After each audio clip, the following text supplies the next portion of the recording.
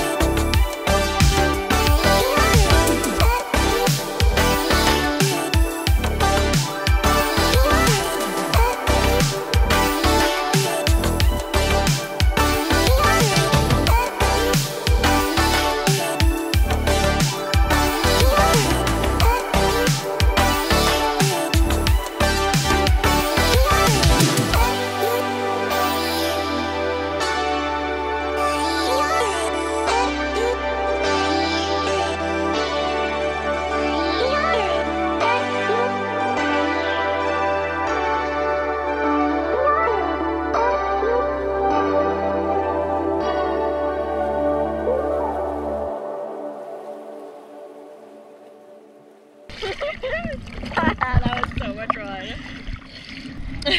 fun.